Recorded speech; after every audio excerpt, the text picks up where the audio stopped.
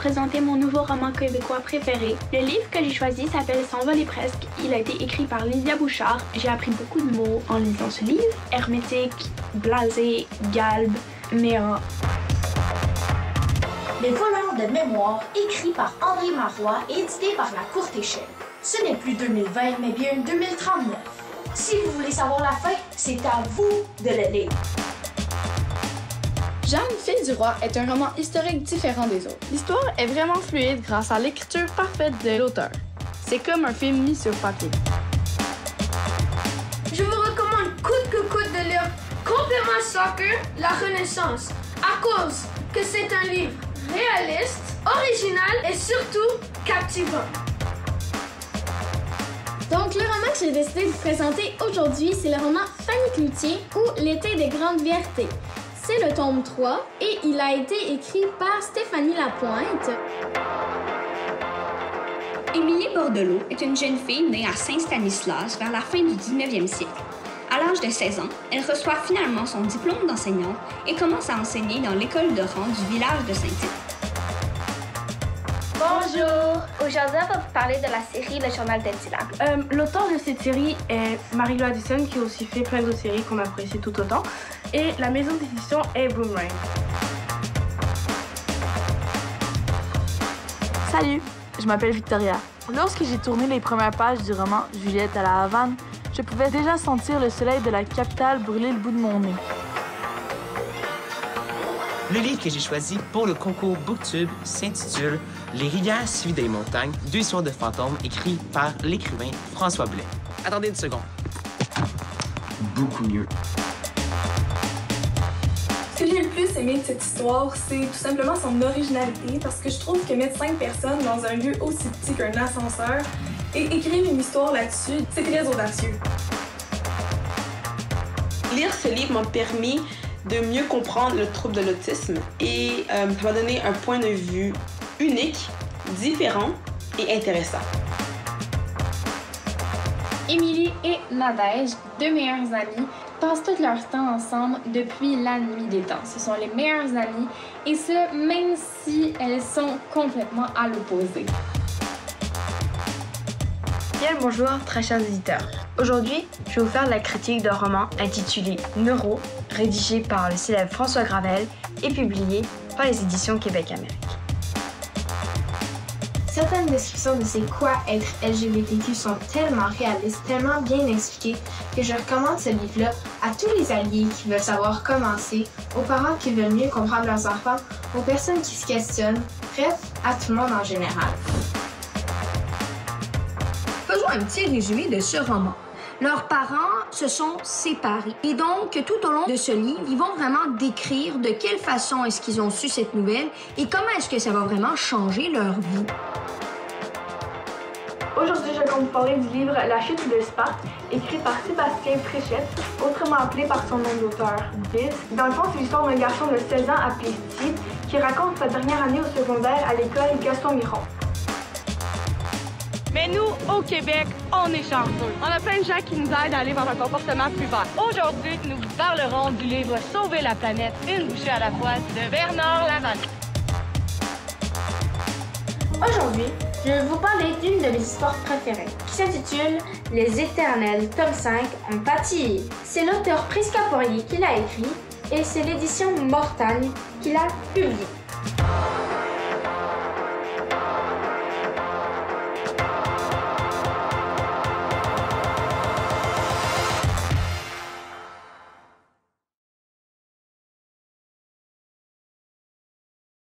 Que je dirige et qui explore depuis la fin des années 90 les nouveaux modèles de fiction que permettent les médias interactifs.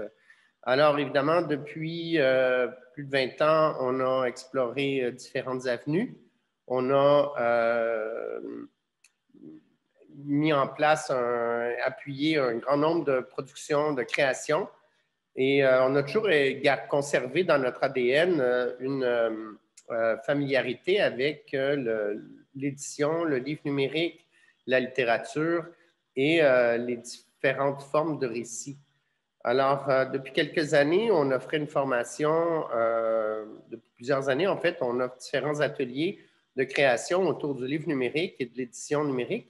Et, euh, mais on n'arrivait jamais à vraiment offrir un programme complet, un panorama complet de toutes les problématiques qui sont rencontrées par euh, le milieu des lettres et de l'édition, donc ceux qui créent, ceux qui écrivent, ceux qui éditent. Et euh, alors voilà, on a donc mis en place le programme Mutation avec le soutien du Front Stratégie numérique du Conseil des arts du Canada, que l'on remercie.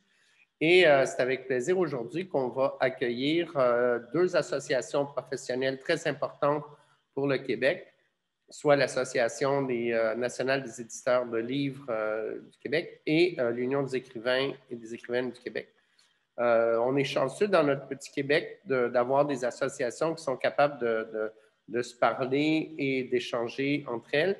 On a même une personne, une agente de développement numérique, Astrid qui euh, va participer aux deux webinaires. Et euh, on invite aussi les gens de l'UNEC à répondre euh, aux, nombreuses intervenantes de l'ANEL et ou l'ANEL intervenir après la présentation de l'UNEC, donc échanger. on invite aussi les participants à la fin de chaque webinaire pour échanger avec les panélistes alors, euh, sans plus tarder, euh, ben, j'aimerais aussi mentionner qu'on enregistre euh, les webinaires en vue de les rediffuser à travers le, site web qu'on va créer pour, spécifiquement pour le projet Mutation. Et ben, d'ici là, je cède la parole à l'Association nationale des éditeurs de livres qui va nous présenter ce qu'on vient de visionner. Bonjour, euh, bonjour tout le monde, euh, bienvenue. Euh, je suis Karine Vachon, directrice générale de l'Association nationale des éditeurs de livres. Effectivement, ce que vous avez vu d'entrée de jeu, c'est une courte vidéo qui dévoilait les gagnants du concours Booktube, qui est un des projets dont on va parler aujourd'hui, un projet de valorisation du livre d'ici de la lecture aussi des auteurs d'ici auprès des jeunes.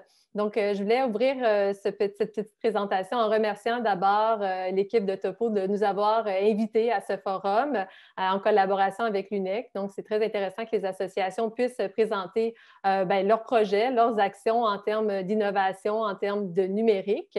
Quelques mots sur l'ANEL pour commencer. Donc, l'ANEL, c'est une association qui regroupe 115 maisons d'édition du Québec, mais aussi du Canada, donc des maisons d'édition francophones de partout au pays. Euh, donc, on regroupe des maisons d'édition de tous les genres, que ce soit euh, des éditeurs qui publient des romans, euh, de l'essai, de l'édition scolaire, le jeunesse, le théâtre, la poésie. c'est une maison d'édition, une association donc, qui est très, très diversifiée.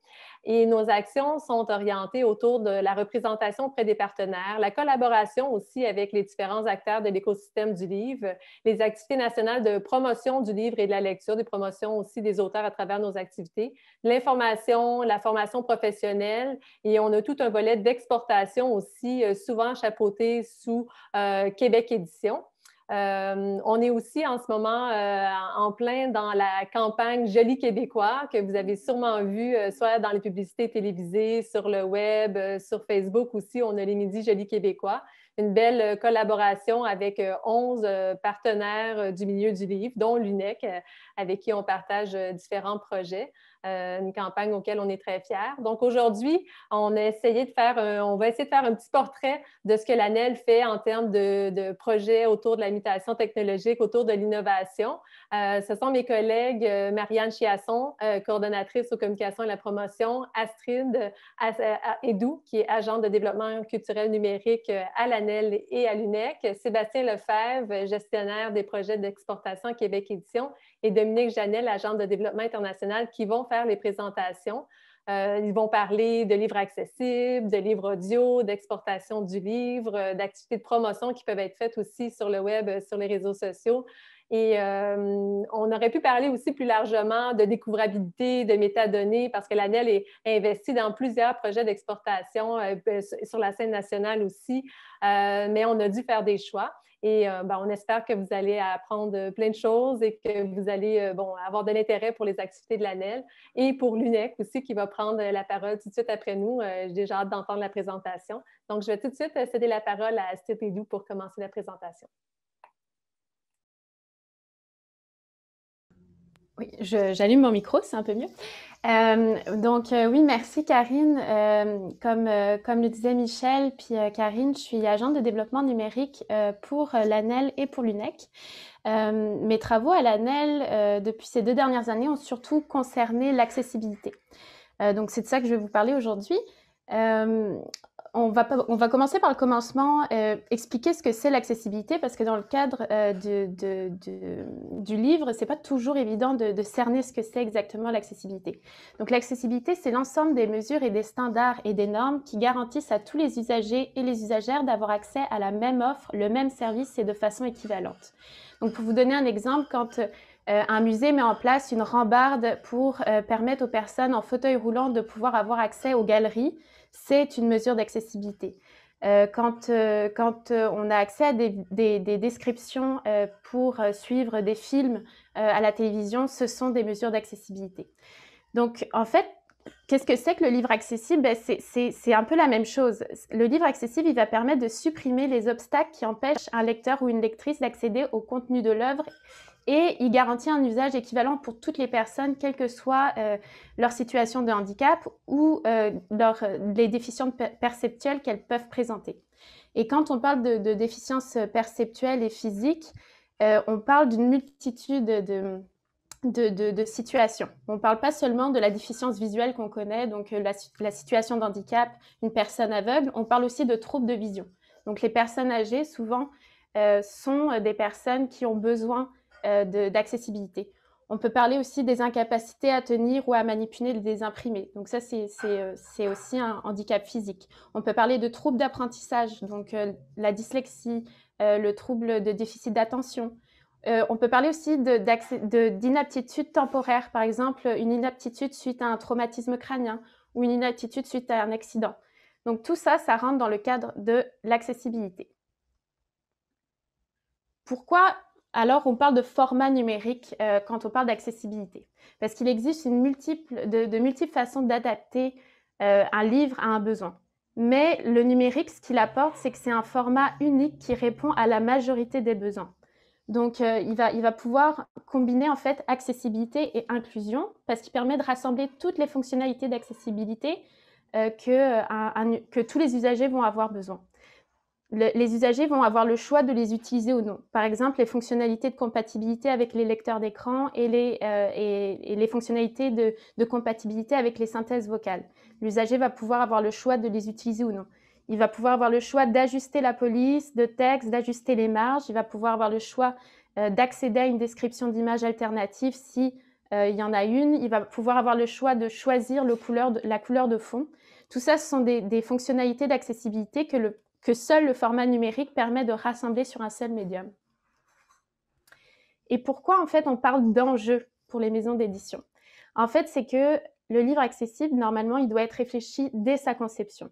On ne peut pas arriver au moment de commercialiser le livre et dire qu'on veut faire le livre accessible. Il y a des façons d'adapter par la suite, mais c'est sûr que ça va rajouter une étape pour l'éditeur. Donc en fait, quand on veut créer un livre accessible, il faut qu'on le pense dès le, dès, euh, dès euh, le travail éditorial. Euh, tout ça, c'est pour permettre aux personnes qui souffrent de troubles visuels d'avoir accès à l'intégralité du contenu du livre comme n'importe qui. Et donc, ça veut dire que le format et la structure du livre doivent permettre, par exemple, d'ajuster facilement le texte. Ça, ce sont des fonctionnalités auxquelles on doit penser avant la production du livre.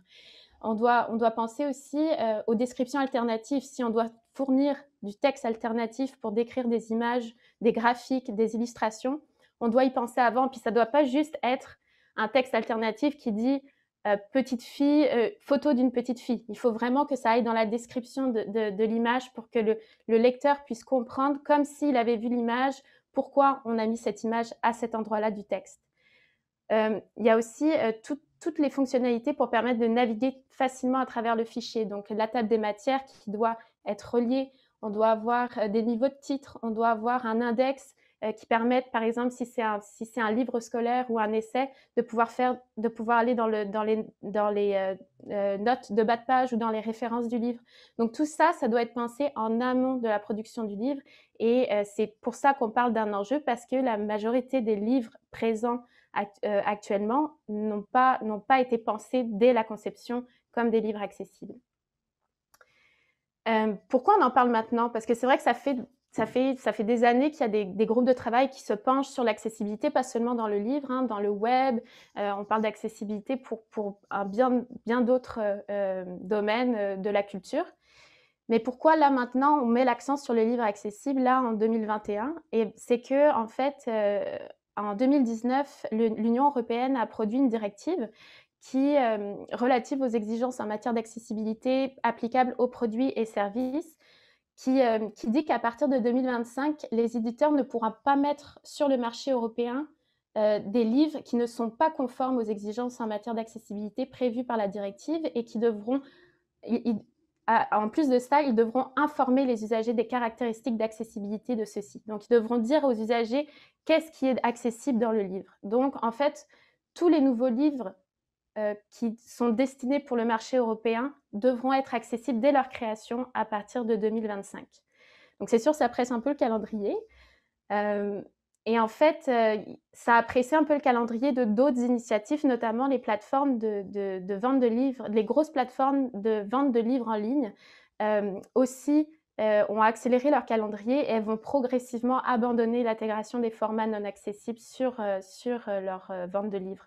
Donc ça, c'est dans un avenir quand même relativement proche que ça va arriver. Donc c'est pour ça qu'on met l'accent dès maintenant auprès des éditeurs pour qu'ils commencent à produire des livres accessibles.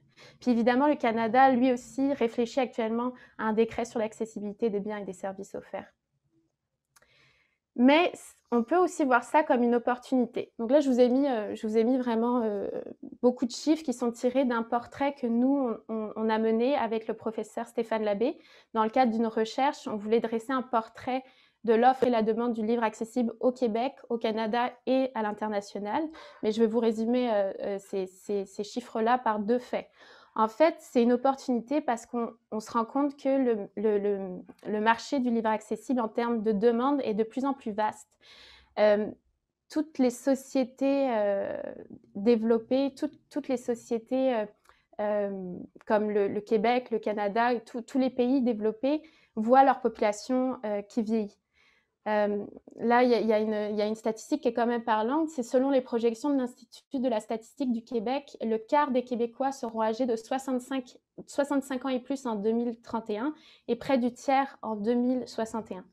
Donc, ça veut dire, en fait, c'est une population qui un fort potentiel d'avoir besoin de livres accessibles. Je m'explique, c'est que les, troubles de la vision, ce sont souvent les premiers signes euh, d'un vieillissement.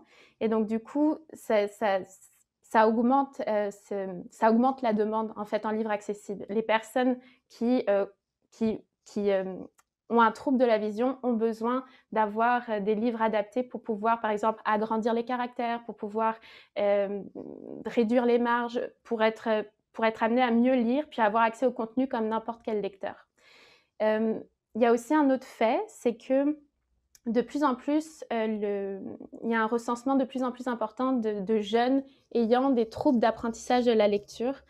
Euh, en effet, en 2021, le nombre de jeunes Québécois identifiés handicapés ou en difficulté d'adaptation ou d'apprentissage a plus que doublé depuis 10 ans. Et on sait que tout ce qui est euh, relié aux troubles d'apprentissage ou troubles d'adaptation est intimement relié aussi aux troubles d'apprentissage de la lecture. Donc, il y a un besoin criant à la fois sur la population jeune, puis à la population vieillissante. Il y a aussi, en fait, euh, quand, on, quand a mené son portrait du marché euh, de, l'offre de livres accessibles, elle est allée consulter des usagers de livres accessibles. Elle est allée consulter aussi des acteurs parce qu'il y a un écosystème qui est déjà en place, heureusement, euh, ici au Québec pour fournir des livres accessibles à cette population. Et euh, ce qu'on s'est rendu compte, c'est que plus ça va, plus euh, moins la demande est satisfaite par le modèle actuel. Puisqu'il y a plus de monde, l'écosystème a du mal à répondre à la demande actuelle. Et en plus de ça, on s'est rendu compte qu'il y avait à peine 10% des livres, du, marché des livres imprimés qui étaient disponibles en format accessible. Donc, il y a une demande, en fait. Il y a une demande qui existe, qui n'est pas satisfaite, puis qui va devenir de plus en plus importante. Donc, ça, c'est une opportunité ce qui est aussi une opportunité, c'est qu'il il y a beaucoup d'études qui, qui, ont été déjà menées. il y a beaucoup de recherches, il y a beaucoup de, groupes de travail qui ont déjà travaillé à développer des formats, des normes internationales donc, on n'a pas besoin de refaire la roue. Il y a des choses qui existent à l'international qui fonctionnent. On a, juste besoin de s'en inspirer puis de l'adapter ici pour le marché du Québec. Je parle de, groupes, de travail comme le WTS3C, le DAISY Consortium. Euh, il y a aussi le réseau national euh, de services euh, équitables en bibliothèque ici au Canada, qui est connu sous l'acronyme de NELS, qui a déjà sorti des guides, qui a déjà sorti des, tutoriels pour produire des livres accessibles. Il y a aussi des fonds disponibles. Euh, depuis 2019, le gouvernement euh, fédéral a investi en fait dans, euh, l'accessibilité. Donc, le Fonds du livre du Canada a déjà fait plusieurs appels à projets auprès des éditeurs pour, pour qu'ils puissent produire des livres accessibles, pour qu'ils puissent faire des projets aussi de production de livres accessibles. On attend, on attend un, prochain appel à projet aussi pour cette année. Et enfin, ben, il y, y, a aussi une opportunité en termes de rayonnement parce que les livres accessibles, euh, ils sont davantage documentés. Euh, puisqu'on doit documenter les, métadonnées d'accessibilité, on doit aussi documenter beaucoup, beaucoup de métadonnées et ça fait que ce sont des livres qui sont encore plus enrichis. Donc, ça pourrait aussi aider finalement au rayonnement euh, et à la découvrabilité des livres en général. cette dernière partie, c'est comment l'ANEL accompagne les maisons d'édition, parce que l'ANEL n'est pas un expert, n'est pas le, un, organisme expert de l'accessibilité, mais elle travaille avec les experts euh, d'accessibilité pour accompagner ces éditeurs dans, euh, dans, dans leur projet de production de livres accessibles. Donc, on a commencé en 2019 avec un projet d'expérimentation avec justement le, réseau national de services euh, équitables en bibliothèque, NELS. cinq éditeurs francophones ont été jumelés avec des testeurs et des testeuses d'accessibilité pour à la fois tester le flux de production des éditeurs et les livres. Et chacun est reparti avec une, euh, un rapport et des recommandations sur comment, euh, comment adapter son flux de production pour, pour faire des livres accessibles de manière efficace. Donc euh, nous, ce qu'on a, ce qu'on a eu, c'est un rapport aussi disponible sur toute l'expérimentation qui a permis de, nous, de venir nourrir le portrait qu'on avait déjà fait avec, euh, avec la recherche euh, avec Stéphane Labbé, mais aussi ça nous a aidé aussi à, adapter notre offre de formation par la suite auprès des éditeurs. depuis 2019, l'ANEL est dans, dans, une initiative nationale pour le développement d'une offre commerciale de livres accessibles au Québec et au Canada francophone. Elle s'est déroulée en trois volets. Donc, il y a eu la recherche dont je vous ai parlé un petit peu en amont, avec les, les, chiffres que je vous ai présentés. On l'a fait avec le professeur Stéphane Labbé puis son équipe de chercheurs. Euh, et on est allé consulter euh, des usagers, on est allé consulter euh, les, acteurs de, l'écosystème du livre accessible pour dresser un portrait. Par la suite, ça nous a permis d'aller concerter avec ces acteurs-là, mais aussi avec le Canada anglophone, qui est dans le même genre de, projet, pour pouvoir émettre des recommandations au fond du livre sur les normes et standards, euh, des recommandations euh, de, normes et standards. On s'est bien sûr inspiré de ce qui se fait déjà à l'international, puis ce qui fonctionne, mais euh, en, apportant aussi une connaissance du marché au Québec. Et puis, bah, le troisième volet dans lequel on est actuellement, c'est vraiment la sensibilisation, la formation et l'accompagnement des éditeurs. Donc, on, a mis en place des ateliers de formation. c'est sûr que les éditeurs ne sont pas tous au même niveau, donc il faut adapter aussi les, les ateliers en fonction du niveau de connaissance. Euh, on, a mis en place un, programme d'accompagnement individuel qui doit répondre à des problématiques précises euh, en termes d'accessibilité, donc des problématiques techniques ou des problématiques euh, de, post-production. donc c'est vraiment ça, c'est vraiment un mentorat individuel. Et puis plus largement, là, on est en train de développer avec deux marques une série de capsules plus techniques sur comment produire efficacement euh, des livres accessibles. Donc, euh, le, tournage a lieu la semaine prochaine, donc ça, devrait sortir pour l'été. Et là, ça va vraiment répondre à des, ça va être des courtes vidéos qui vont vraiment répondre à des problèmes aussi précis, mais plus techniques euh, pour, pour les éditeurs. Et enfin, on a un projet pilote. en fait, l'ANEL participe à un projet pilote de certification en accessibilité avec le Canada anglophone. Donc, le projet pilote, c'est vraiment, ça va vraiment nous, nous aider à à savoir si oui ou non on va recommander un, un système de certification pour, à l'échelle nationale. Donc, c'est 10 éditeurs francophones qui, là, vont participer à ce, à ce, projet pilote de certification et qui vont pouvoir ressortir avec une certification comme quoi les livres qu'ils produisent sont, sont accessibles. Voilà, donc c'est sûr que ce sont des projets euh, assez denses qui vont sûrement s'étaler sur, euh, sur plusieurs années. Là, on, est sur un, on est sur une fin de projet pour l'initiative nationale. Euh, on pense encore à d'autres projets parce qu'il y a tout, tout l'enjeu du fond des éditeurs. on a beaucoup traité de la nouveauté, donc des nouveaux livres à sortir pour qu'ils soient accessibles, mais c'est sûr qu'il y a tout l'enjeu du fond et des livres qui ne sont pas encore accessibles. Donc ça, ce sont des questions qu'on se pose pour la suite. Puis évidemment, euh, quand on parle de livres accessibles, on, parle aussi de livres audio, parce que les livres audio sont des livres accessibles euh, par définition. Euh, L'ANEL est plongée dans beaucoup, beaucoup de projets là-dedans. Donc, je vais laisser la parole à, ma collègue Marianne, qui, elle, va vous pouvoir, pouvoir vous en dire plus sur le livre audio.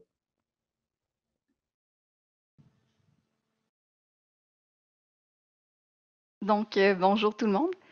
Euh, moi, je suis coordonnatrice de communication à l'ANEL et depuis euh, les derniers mois, j'ai travaillé sur les projets euh, numériques, surtout en lien avec le livre audio. Donc, ah, juste Astrid, peut-être mettre la première slide. Merci beaucoup. Donc, tout d'abord, j'ai commencé par un, état des lieux, un peu c'est quoi le marché du livre audio, expliquer un peu son expansion. Donc, le livre audio, c'est un marché qui est encore, considéré comme émergent au Québec, même si techniquement son arrivée date pas d'hier. En fait, il y en a sûrement euh, quelques-uns qui vont se rappeler des feuilletons radio ou des livres disques avec euh, le son, au son de la cloche, euh, tourner la page. Et ça, c'est vraiment un format qui existe depuis quand même plusieurs années, l'audio. Mais aujourd'hui, on va surtout parler de l'audio en format digital, donc MP3, qui est disponible sur différentes plateformes d'écoute en ligne et de téléchargement. donc, l'évolution du marché du livre dans les dernières années, on sait, selon une étude qui a été réalisée par le service d'écoute euh, suédois Storytelling AB en 2020, que l'industrie du livre audio représenterait aujourd'hui 4,8 milliards de dollars US.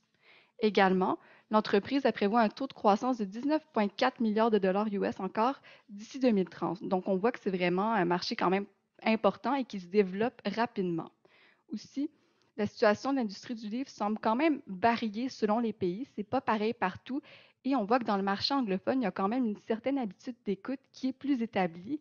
On voit aussi que euh, en fait, le Royaume-Uni, les États-Unis et l'Australie sont les trois régions qui ont le plus grand marché du livre audio et contrôlent environ 70% de ce marché-là en date de 2018. Et euh, aux États-Unis plus particulièrement, qui est vraiment le pays avec le plus gros marché, on sait qu'en 2019, il y a 1,1 milliard de dollars US euh, qui a été, euh, qui a été en fait attiré, de revenus qui a été attiré euh, par le livre audio. Et ça, c'est surtout grâce au téléchargement. Donc, 95,4% des revenus sont dus au téléchargement. Et selon l'American Association Press, le téléchargement des livres audio a augmenté beaucoup pendant la période du confinement. Donc, de janvier à octobre 2020, on a une augmentation de 17% euh, en comparaison aux mêmes 10 mois de l'année précédente, ce qui veut vraiment dire que la pandémie a fait en sorte que les gens ont sûrement consommé plus de livres audio qu'à leur habitude. Et si on va du côté de la francophonie, on voit que le marché est un peu moins développé, mais n'empêche qu'il y a quand même un très grand potentiel. Le marché du livre audio en France en 2018 représentait seulement 1% de l'ensemble du marché de l'édition Toutefois, avec 80 millions de personnes de langue maternelle française sur le globe, on voit qu'il y a un auditoire quand même potentiel qui est là et ça représente environ 25% de la population des États-Unis. Donc, on peut voir qu'on a quand même des, euh, belles, du, beau potentiel. En passant, quand je pointe le doigt, c'est pour changer le PowerPoint si quelqu'un se demande. et du côté du Canada, selon un sondage de BookNet Canada en 2020, il y aurait 37% des lecteurs canadiens, donc ceux qui ont déjà des habitudes de lecture, qui écoutent aussi du livre audio. Le nombre de personnes qui écoutent seulement du livre audio, par contre, serait euh, de 5% en 2018 et euh, en fait de 11 euh, et de 11% en 2020.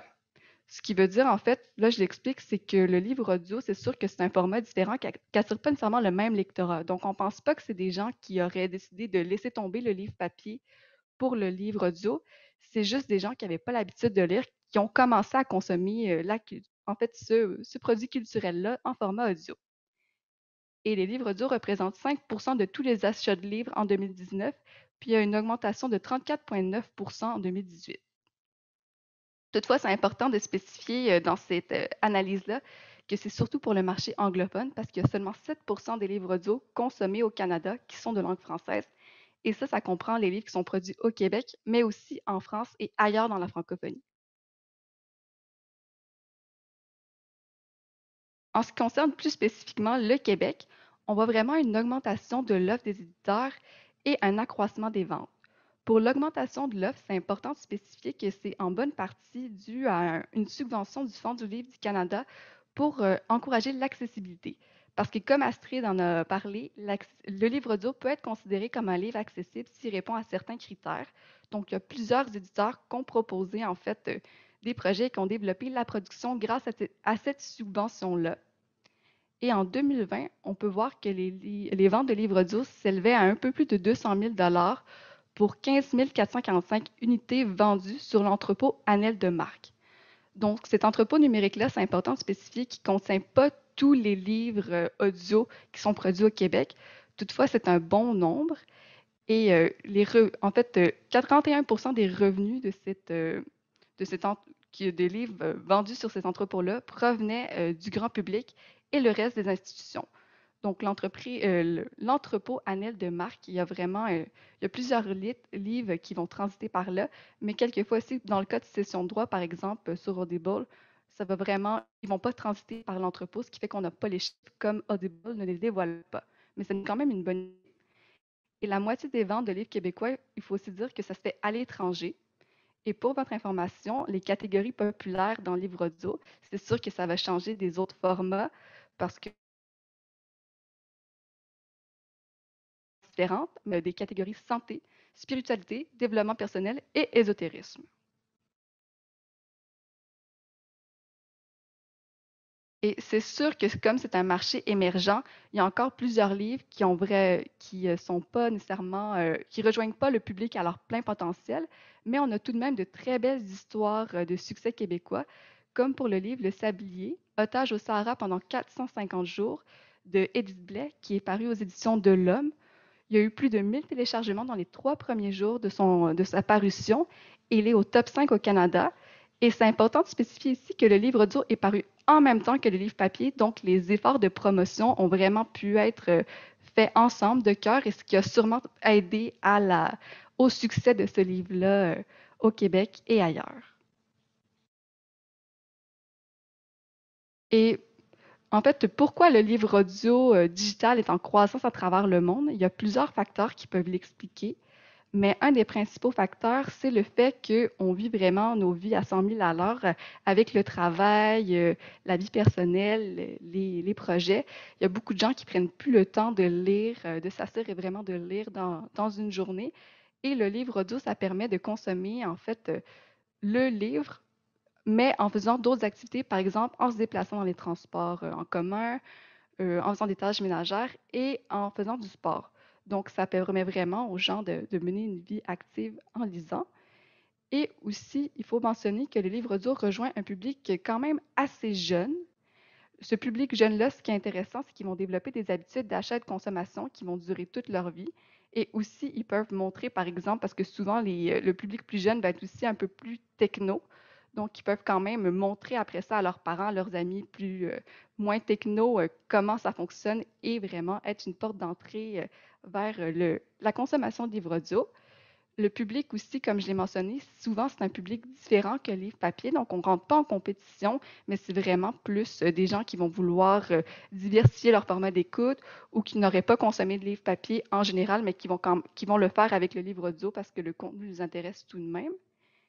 Et aussi, il faut dire que la croissance de la possession de téléphone cellulaire vient aussi aider à cette croissance-là du livre audio parce que c'est un, en fait, c'est un appareil où les gens aiment beaucoup écouter les contenus audio et donc c'est plus facile d'avoir accès à un téléphone cellulaire, d'écouter son livre audio, donc ça va de pair.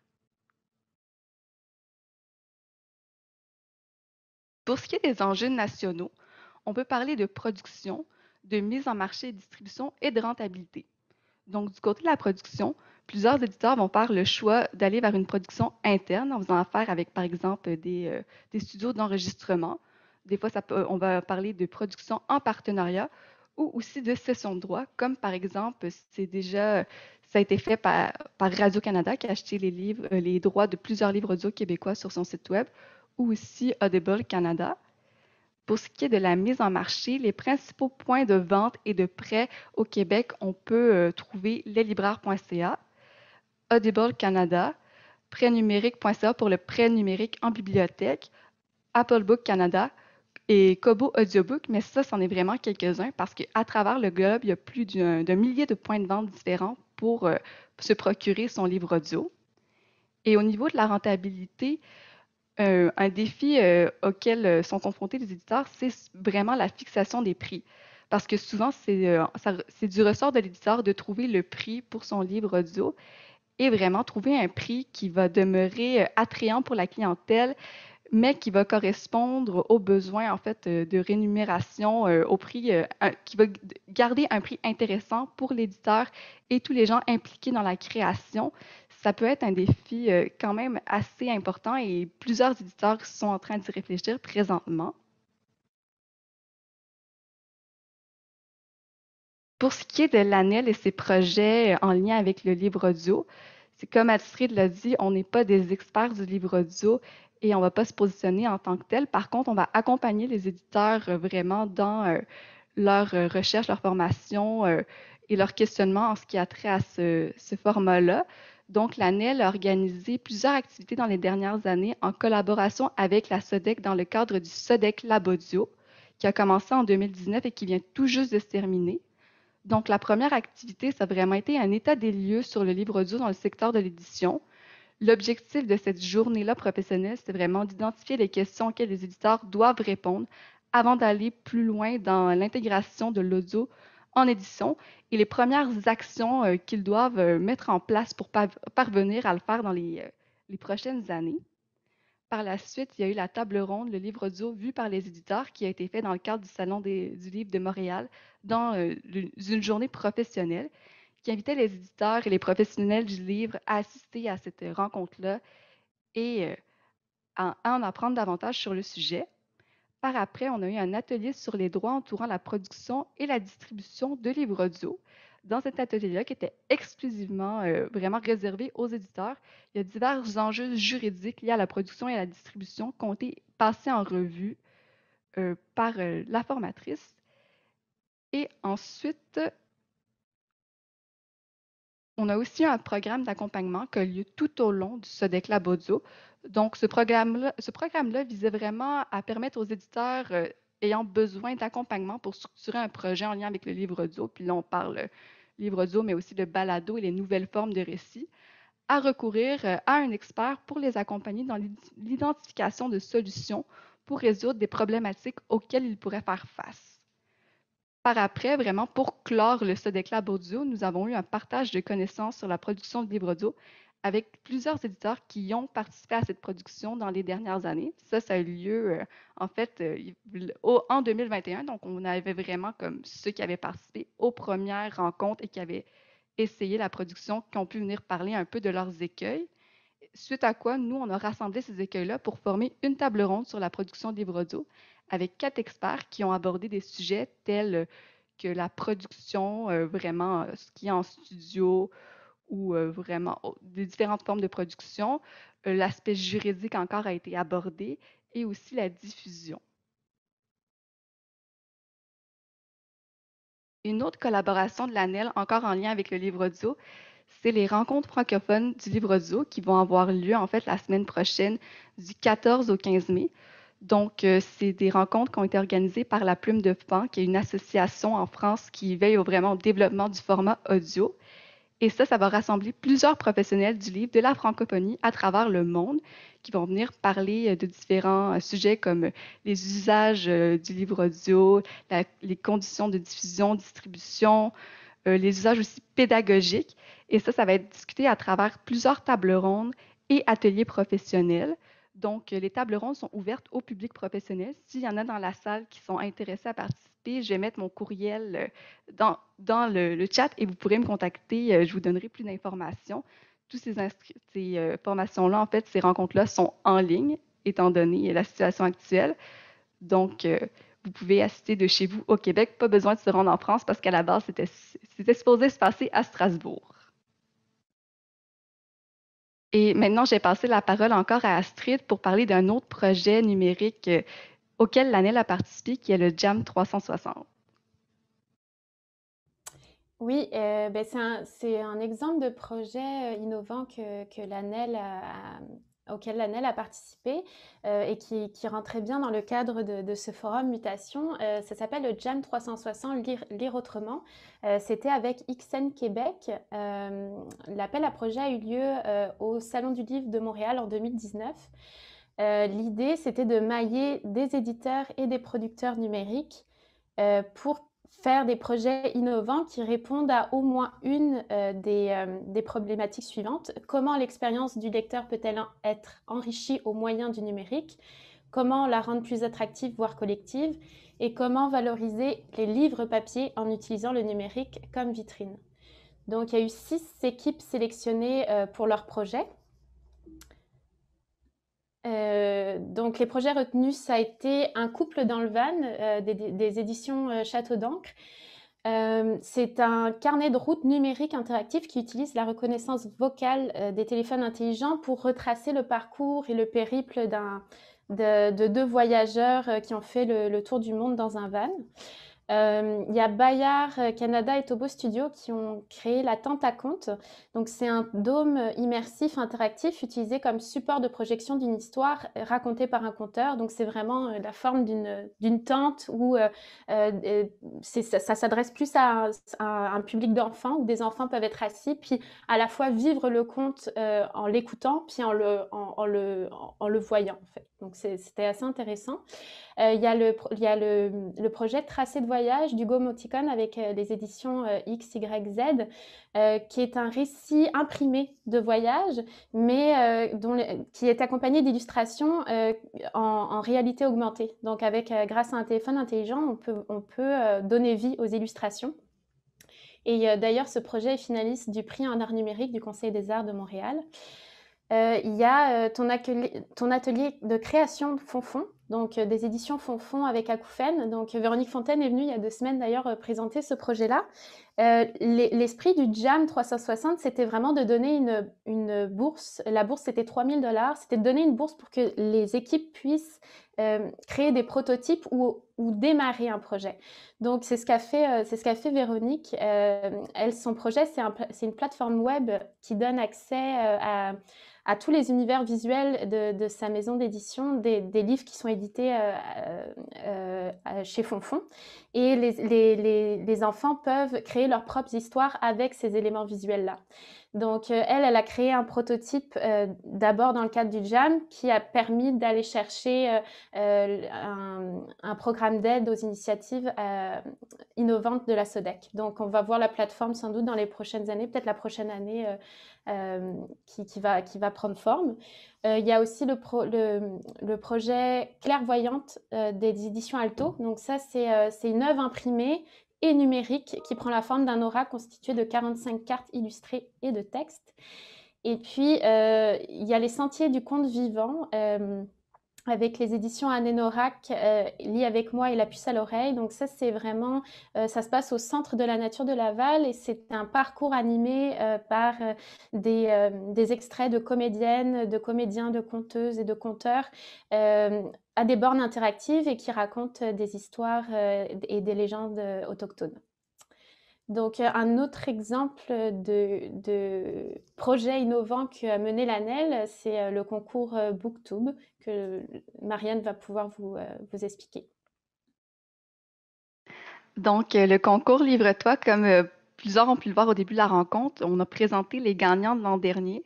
Donc, c'était des extraits vidéo de leur participation. Tout d'abord, c'est quoi le concours Livre-toi? C'est vraiment un concours qui invite les jeunes à devenir booktubeurs le temps d'une vidéo.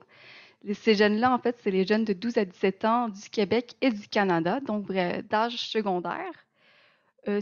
qu'est-ce qu'on leur propose, c'est de faire une critique littéraire de leur, de leur livre québécois ou franco-canadien préféré, donc vraiment une critique positive. Et comment? C'est avec une courte vidéo diffusée sur notre chaîne YouTube, notre page Facebook et notre compte Instagram.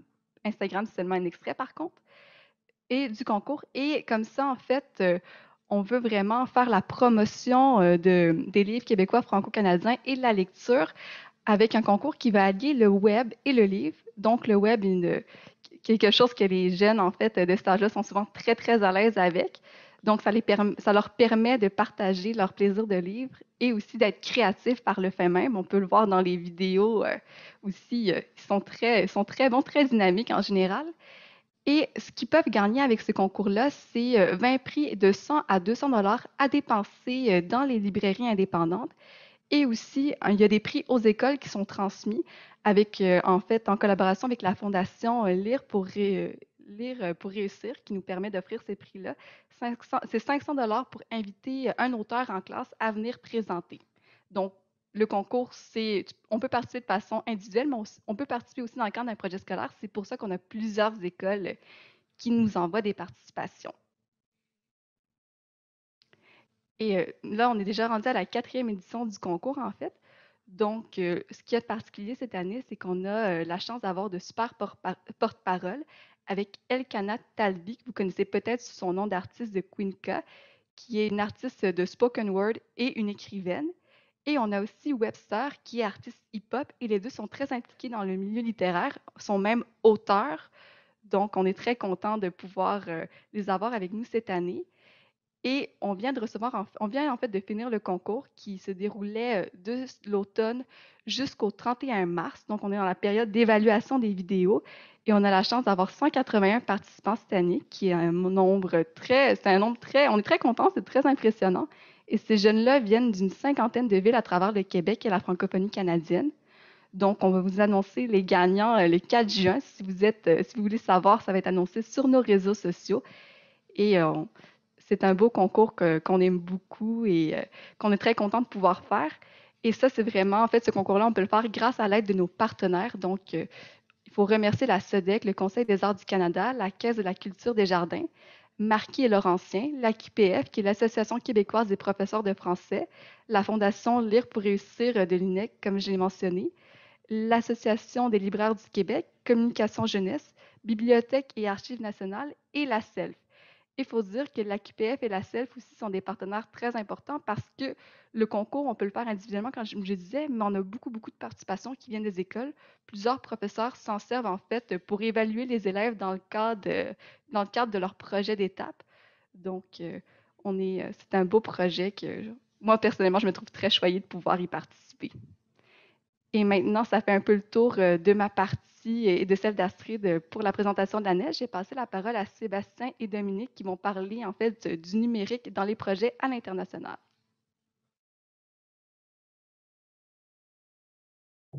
Ah, bonjour à tout le monde. Merci euh, pour, euh, pour votre accueil. Alors, je m'appelle Sébastien Lefebvre, je suis gestionnaire des projets euh, d'exportation à Québec Édition. Et donc, nous allons assurer, au fond, la, si on veut, euh, l'aspect international euh, du travail de, de l'ANEL et de, Québec Édition. Alors, je cède la parole à ma collègue euh, Dominique Janel, qui va vous parler de l'exportation directe en Europe francophone. Dominique? Oui, bonjour. Alors, euh, merci de l'invitation. Donc, je suis Dominique Janel, donc agent de développement à l'international pour Québec Édition. Donc, euh, d'abord, je voulais vous euh, présenter les activités de développement, là, ben, quelques, ben, dans le fond, deux exemples d'activités de développement qu'on fait à Québec Édition pour vous expliquer ce qu'on a fait pendant, depuis la pandémie, puis aussi de voir, de tirer les points positifs de, cette, de cette transition obligée, on va dire. Donc, normalement, on a des journées de d'éditeurs euh, québécois et franco-canadiens qui sont destinés aux professionnels du livre en Europe francophone. Donc, on parle de l'Europe francophone comme la Belgique, le Luxembourg, la Suisse et la France. Donc, on a ici la, photo euh, euh, plutôt euh, du côté du programme de fellowship, le rendez-vous libraire, parce qu'on a aussi la chance depuis 2017 de faire venir aussi des libraires. Donc, à ce moment-là, c'est des libraires qui viennent de partout en, France, en Belgique, en Suisse et, du Luxembourg. Puis, à ce moment-là, ils viennent pendant une semaine à Montréal. Donc, normalement, de façon classique, les activités de Québec Édition, on est beaucoup évidemment sur la présence. Donc, il y a la présence physique, autant des éditeurs qui vont là-bas, autant des professionnels qui viennent ici. On traverse les frontières avec les livres physiques. On en fait dans ce, mouvement-là, euh, c'est ça. Donc, quand euh, donc, euh, on par rapport aux journées de présentation d'éditeurs, on a fait euh, Lyon en 2018, on a fait Nantes en 2019, on a fait Lille en 2020, on devait faire Bordeaux, Toulouse euh, et Bruxelles cette année. Donc, ça, ça a été reporté. Donc, ça, c'est vraiment donc, des, des exemples de, dans ce qu'on faisait de façon classique. Maintenant, on peut passer. Et donc, les activités euh, virtuelles qu'on a donc réalisées en 2020-2021, c'est vraiment pour vous montrer que dans l'univers virtuel, Québec Édition euh, a donc euh, réussi à contribuer à l'exportation physique des livres, donc en organisant différents types d'activités, donc les présentations virtuelles d'éditeurs et de leurs titres à des professionnels. Donc, on en a fait plusieurs. On a fait aussi des présentations de marché, donc le marché français et le réseautage. Donc, à ce moment-là, on s'adressait à des professionnels euh, du livre et euh, on a fait aussi une activité vers le grand public, c'est-à-dire que normalement aussi, on a, euh, des, on a une présence collective dans les salons, donc entre autres dans, à la Foire du livre de Bruxelles. Donc, l'activité vers le grand public que je pourrais donner en exemple qu'on a fait, c'était une activité qui réunissait des auteurs, des, des conseils de libraires, euh, animé par euh, un, modérateur. Puis ça, ça s'adressait au euh, public qu'on aurait vu à la Foire du livre de Bruxelles. Donc, c'était la même journée qui aurait dû avoir lieu l'inauguration sur le, sur le stand. Donc, ça a permis des ventes de livres à travers les librairies. c'est ça. Donc, donc, voilà. Donc, c'était des exemples qu'on a réalisés. Puis, on peut donc on voit, ce qu'on a, vu, ce qu'on a compris, c'est que euh, les points positifs, bien évidemment, aucune contrainte physique et temporelle. Euh, il y a une possibilité donc de toucher un large public. Donc, euh, de rassembler des professionnels de partout en Europe francophone au même moment, et, euh, mais aussi de, rassembler les professionnels au Québec. C'est-à-dire que dans euh, des exemples de, de, rencontres qu'on a faites, donc ça, permettait euh, de pouvoir faire participer des membres, donc des éditeurs, en grand nombre, qui n'auraient pas pu nécessairement se déplacer ensemble au, au, sein d'une même équipe, mais là, ils pouvaient assister à un webinaire ensemble, puis avoir un temps de rétroaction par la suite. Donc, euh, c'est ça. Donc, au niveau aussi euh, des, euh, libraires, par exemple, des professionnels d'Europe francophone, bien, ça nous a permis de travailler autrement les liens via les associations, par exemple. Donc, une association qui pourrait avoir des membres à travers la France et la Belgique. Donc, ils ont pu être tous ensemble à une même activité virtuelle. les libraires, on sait qu'ils ont des ouvertures, des heures d'ouverture larges, qui n'ont pas toujours la disponibilité de pouvoir se déplacer pour une journée complète, mais ils pouvaient euh, se, garder une heure de leur journée pour une activité qu'on leur proposait.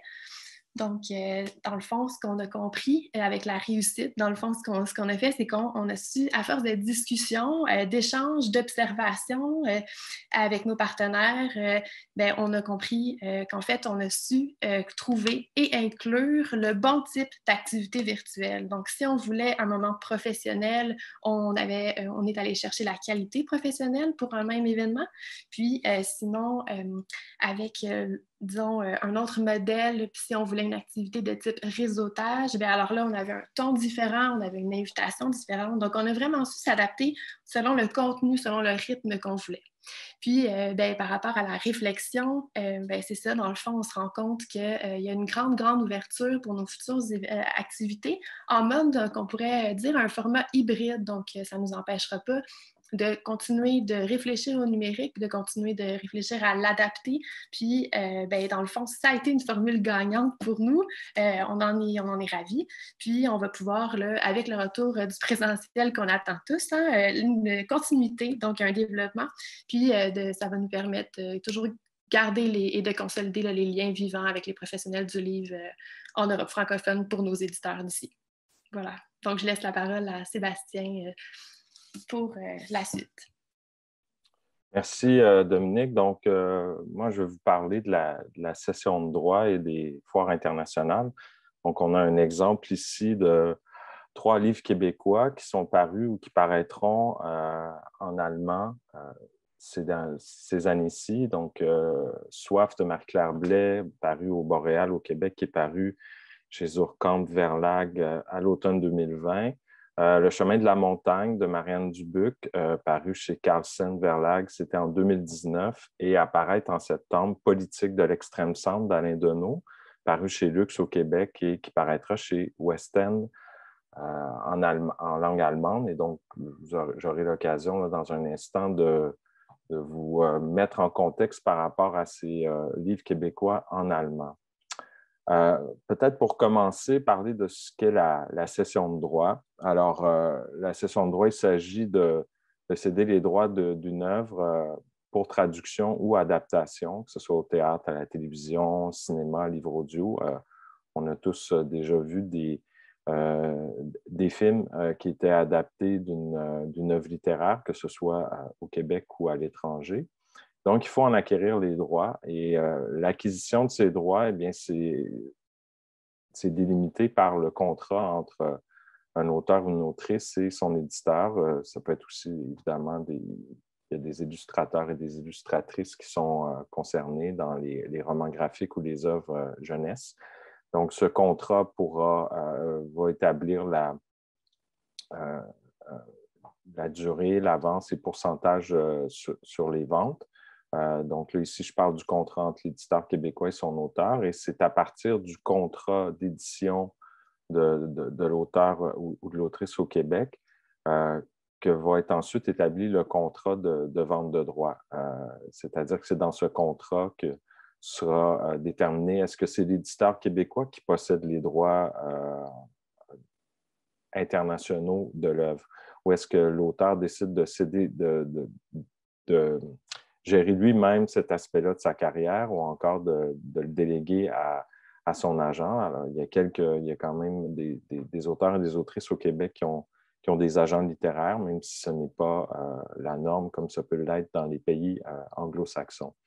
Et donc, la cession de droit, euh, le pourcentage qui revient à l'éditeur québécois et à l'auteur, et ensuite le contrat entre l'éditeur ou l'auteur et un éditeur étranger, encore là, euh, c'est il y a différentes euh, variables, il y a différentes euh, formes de contrats sur, sur les avances qui sont données à l'éditeur et à l'auteur, sur, sur le pourcentage qui est remis pour chacune des ventes, également sur le livre numérique, le livre audio.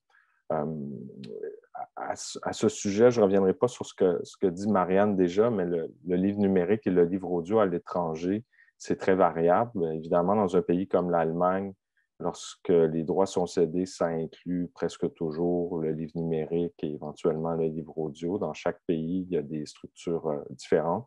Mais euh, on a récemment eu une activité euh, de, vente de droits avec des éditeurs des Balkans et on se rend compte que dans cette région du monde, le livre audio ou même la vente en ligne ne sont pas aussi développés qu'en Europe de l'Ouest. Et donc, euh, la vente de droits, euh, ça peut être euh, en langue anglaise pour le, Canada anglais ou simplement pour l'Amérique du Nord, pour l'anglais à, l'échelle du monde. Donc, encore là, il y a, des variations.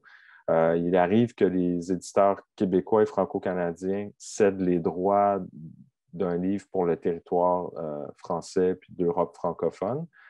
donc, encore là, il y a des, des variations, puisque certains éditeurs, ceux avec qui on travaille, par exemple, dans, notre travail auprès des libraires euh, euh, d'Europe francophone dont vient parler Dominique, certains éditeurs québécois exportent directement euh, leurs livres en France et en Europe. certains éditeurs vont faire les deux, exporter directement et choisir par moment de céder les droits à un éditeur français. Alors, quel type de livres sont vendus? Eh bien, tous les types de livres sont vendus. On, pense et on parle euh, plus souvent de la littérature.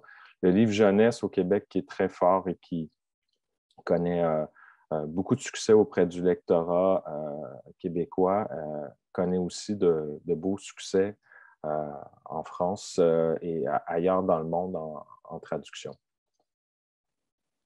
Et donc, la, vente de droits se fait euh, via, pour ainsi dire, un circuit international des foires et, salons du livre. la plus importante est en Francfort. Euh, on voit ici une photo du stand de Québec Édition à, la foire du livre de Francfort, euh, qui a lieu, la foire a lieu chaque année en octobre, réunit tout le, le, gratin des éditeurs des quatre coins du monde. on parle de cinq, six halles d'exposition très impressionnant, des milliers d'intervenants qui, pendant plusieurs jours, euh, la foire réunit des professionnels. Elle est ouverte au public durant le week-end, mais les premiers jours, elle ne réunit que des professionnels, à savoir des éditeurs, euh, des agents littéraires euh, qui se rencontrent et qui font des affaires. La foire de Londres est aussi très importante. la foire du livre de Bologne, c'est pour ainsi dire la grande foire du livre jeunesse. où les professionnels se réunissent et où également sont remis des prix importants chaque année. Et plusieurs éditeurs québécois connaissent euh, de, ont de, très beaux succès, de belles histoires à la Foire de Bologne. Et euh, la, Foire du livre de Guadalajara, qui a lieu euh, chaque année en novembre, est un des grands rendez-vous, si on veut, en, en Amérique latine. et elle a un, un, volet public très important et aussi un volet professionnel.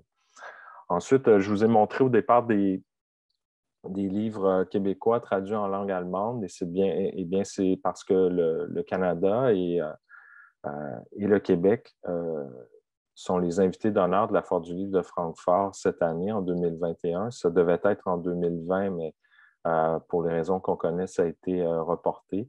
Alors, alors c'est la foire la plus... Lorsqu'un un pays est invité d'honneur à la Foire du livre de Francfort, ben, c'est une occasion de prestige, mais c'est aussi des occasions d'affaires euh, assez exceptionnelles.